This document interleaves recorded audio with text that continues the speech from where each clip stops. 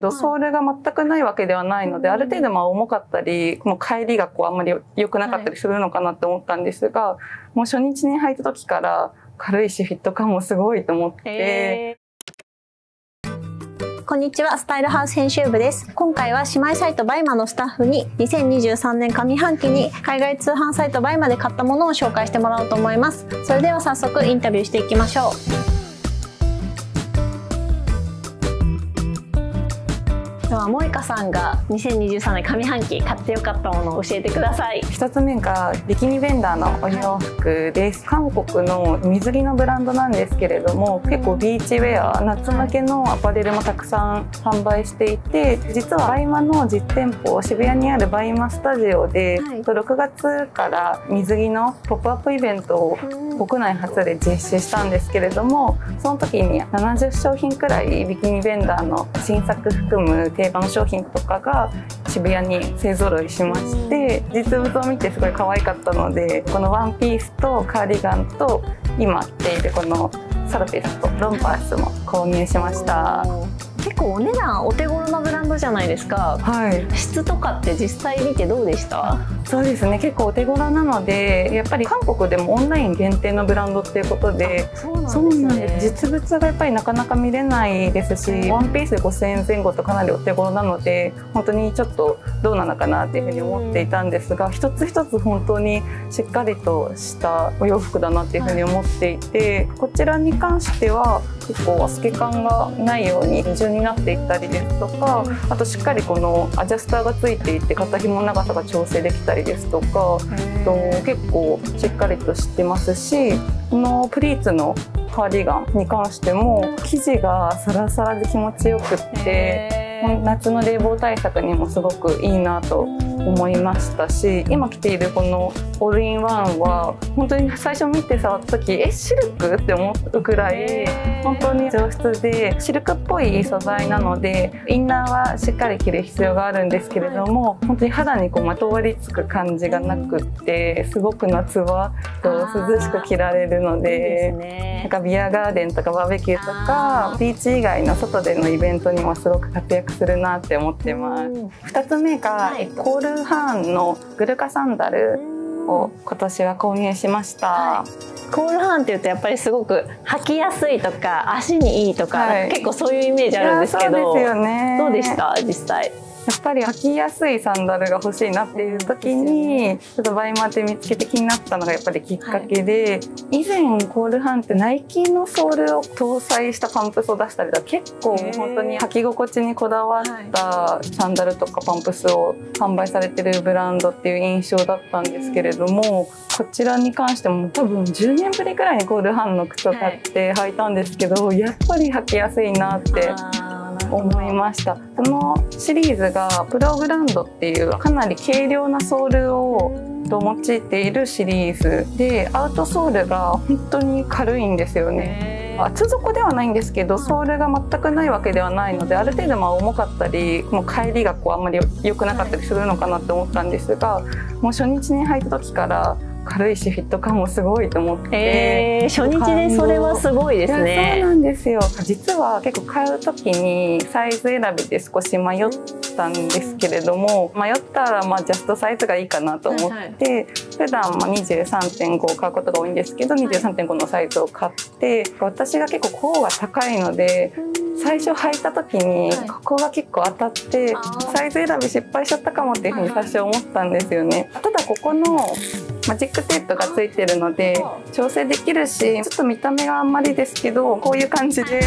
履けばいいかって思って履いてたんですけどやっぱり1日履いただけで皮が多分かなり馴染んできて次の日普通にピタッて止めたら向こうにもすごいフィットしてくれていてかなり皮の馴染みも早いですしすごく履き心地っていう点でおすすめできるサンダルだなと思いました。すごいいいですね。どうしてもストラップがついてるとかっていうサンダルそこが当たっちゃうとかではい、靴ずれしやすいとかそういうのありますけど、はい、そういうのが全然なく履けるっていうのはすごいですね。そうですね。こちらに関しては一度も靴ずれしないで済みましたね。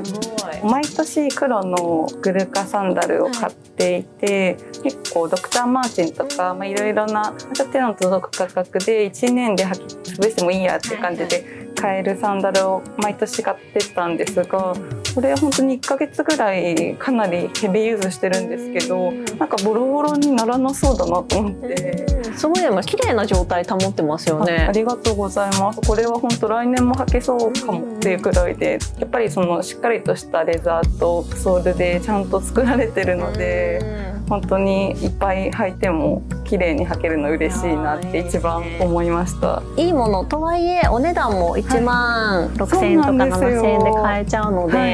そうなんですよね、ね、今多分もうこれ国内の公式サイトだと黒は完売とかしてると思うんですけど、ね、定番のものなんですがバイマでかなり手頃な価格で購入することができたのもすごく嬉しかったです。ぜひ皆さんにもバイマでコールハンのシューズチェックしてほしいですね。すね。すごくお得でしたし、結構国内にないデザインもあるので、チェックしていただけたらと思います。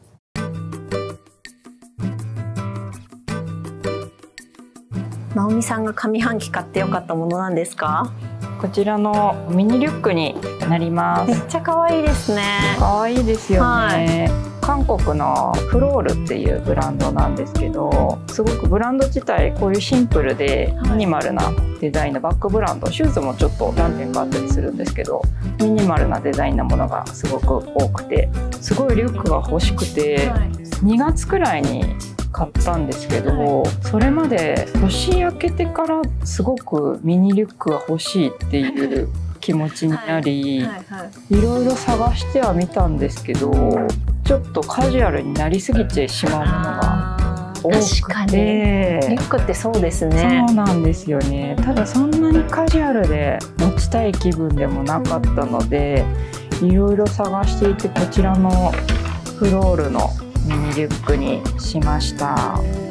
本革でしっかりしているところもすごくいいです。しかもシルバーだから今っぽいですよね。そうなんですよ。シルバーっていうのもトレンドのカラーっていうのもありつつ合わせやすいですよねシルバー確かに。白感覚というかそうですそうです。他の色物よりは逆に合わせやすいみたいなとこありますよね、はい、モノトーンのコーデにも合わせやすいですし、はい、カラーが入ったコーデにも合わせやすいっていうところがすごくいいなと思ってあとかっちりしすぎたもので黒になっちゃうと、はい、ちょっとコンサバすぎちゃうのもあれかなと思って、はい、遊び心のあるシルバーにしました。そのサイドのストラップっていうんですか？その丸いデザインも可愛いですね。そうなんですよね。ここがポイントになってこれがあることでより可愛い感じになるかなっていう感じです。でマッチもしっかりあるのでたくさん入りここもマグネット式になっているので。いいですね。ちょっと硬いんですけど使ってるうちに柔らかくはなってくるんですけど、はい、特に硬いからといって嫌だなみたいなことはなく。ペットボトルはまあ入んないんですけど。あ350とかだったらみたいな感じですかね。確かに。入るかもしれないです。今ストラップがこうついてるんですけどどうやら最近新しいバージョンが出たらしく新しいバージョンこのストラップが取り外しができるみたいなんですよ。じゃあもうハンドバッグ的な感じでも使える。みたい。なも使えるしこの位置を変えてショルダー的な感じにもできたりするのでそれもすごく便利で使いやすそうだなと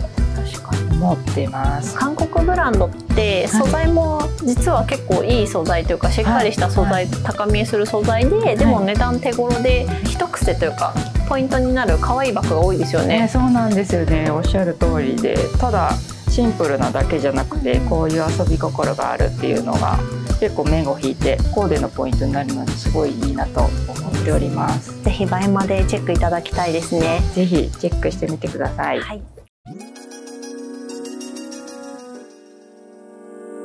バイマレディス MD のねねさんに来ていただきました。お願いします。お願いします。今年買ってよかったものなんですか？この OSOIのバッグです。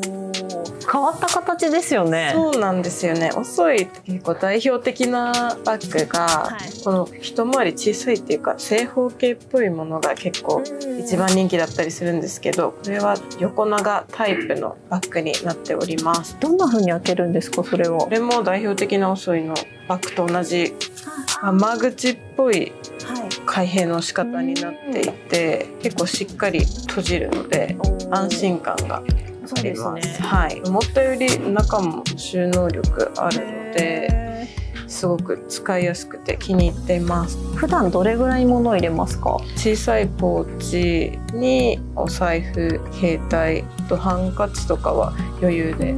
入るぐらいですかね。必要最低限のもの、まあ、プラスアルファぐらい入るみたいな、ね、はい。斜め掛けになるんですか？それは。斜め掛けにもできると思います。このベルトで簡単に調整できて。穴がないんですね。そうなんです。すごいいいですね。かなり楽々調整できて。斜め掛けにも、まあ、ギリ。できるかな？っていう肩にかけるぐらいの感じがあれですかね。一番使いやすいですかね。結構長めにかけられるので手とかも当たりにくくてすごく使いやすいです。もっと短くしたらハンドバッグみたいな感じで持てるんですね。それも可愛いと思う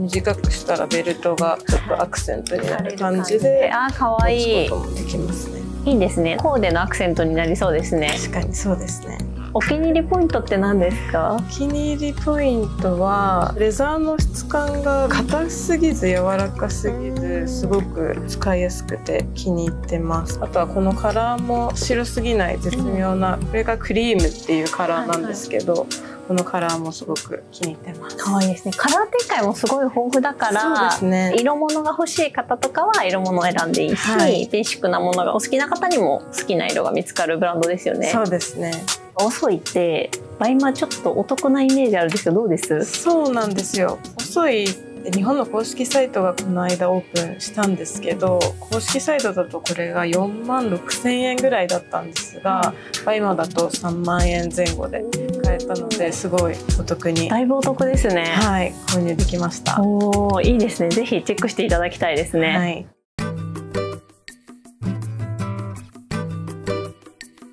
美穂さんが上半期買ってよかったもの何ですか？こちらのオートリーのスニーカーです。可愛い。そうなんです。ずっと白いスニーカーが欲しくて探してたんですけど、はい、なかなかピンとくるのがなくってで私はデニムをよく履くので、はい、なのでちょっとカジュアルになりすぎないで綺麗めに履けるスニーカー探してた時にこの大鳥のスニーカー見つけて買いました。ちょっとレトロな感じで可愛いですよね。そうなんです。ソールとあと靴紐がちょっときなりっぽい感じになってまして若干ちょっと高いソールが高いので身長も漏れるのですごくそこが気に入ってます。履き心地とかってどうですか？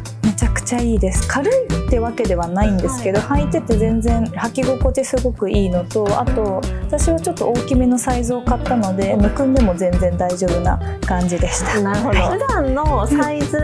よりももしかしてちょっと上げた方がいいとかってありそうですか？私普段24センチなんですけど、はい、今回24.5センチの38を買いまして厚めの靴下と合わせたら可愛いかなって思ったのでハーフサイズアップで買いました。ハーフサイズアップで実際ちょうどいい感じでした？それとちょっとゆとりはあるみたいな。若干ゆとりはあります。なんですけど靴紐で調節できるので全く問題なく履けています。なるほど。じゃあもしぴったりがお好きな方は普段通りのジャストサイズでちょっと靴下厚めがいいとかむくみとか気になるとかいう方はちょっとハーフアップでもいいかなみたいな感じですかね。そうですねはい。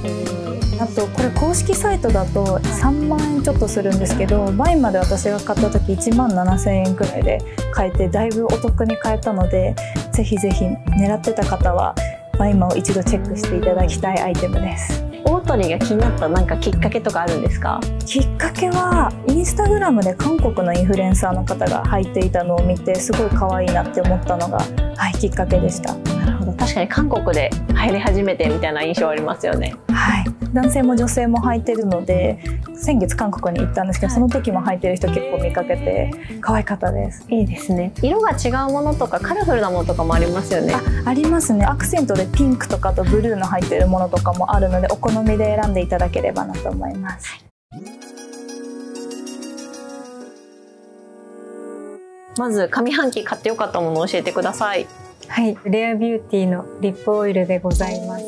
どっちがリップオイルなんですか？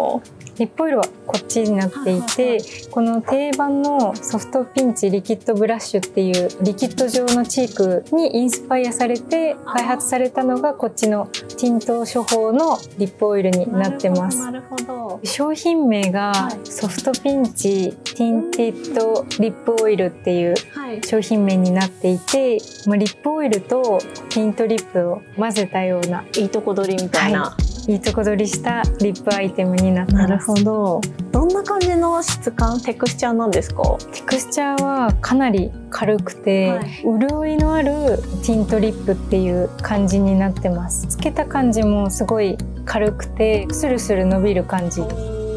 結構ツヤ感のあるテクスチャーになってるのでマットっていうよりかはかなりツヤツヤになる。リップオイルに近い感じになってます。ティントって言うとやっぱり落ちにくいですか？かなり落ちにくいですね。そのめちゃくちゃ夜までずっと残ってるっていうほどではないんですけれども、やっぱリップオイルとして見てみるとかなり色持ちがいいかなと思います。レアビューティーって誰かセレブのプロデュースブランドでしたよね。そうなんです。セレーナ・ゴメスが手掛けてるビューティーラインになっていてコスメとか中心に展開されていて、はい。結構本当に可愛いものがたくさん出ています。パッケージも可愛いですね可愛いですよね、日本でなかなか買えないので倍まで買うことがすごい多いです。次はもう一個あるんですよね。はい、2つ目はシャーロット・ティルブリーから出ているリキッド状のハイライトを選びました。リキッド状なんですねそれが。そうなんです。これ風になってるんがですか？こ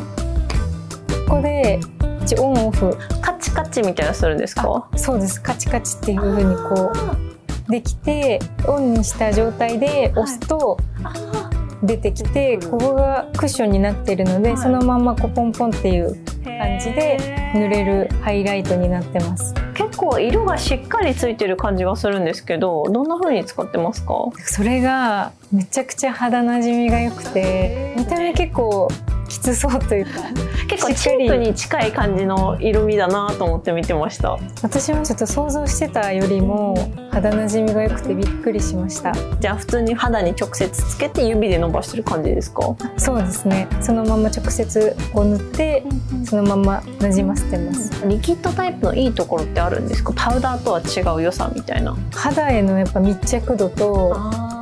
肌なじみとあとやっぱりリキッドなので若干潤いもプラスされる感じもあるので乾燥が気になる方とかパウダーにパウダー重ねるのはなっていう方にはすごいいいかなと思います。じゃあよりツヤっと見せられる優れものってことですね。はい。はい。